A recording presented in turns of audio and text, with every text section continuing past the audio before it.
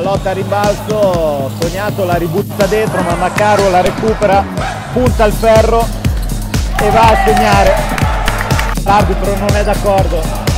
Recuperatona da parte di rivali che fa spiazzare Gene che si rialza al testo. Pesaresi alza la palla per Butone che segna.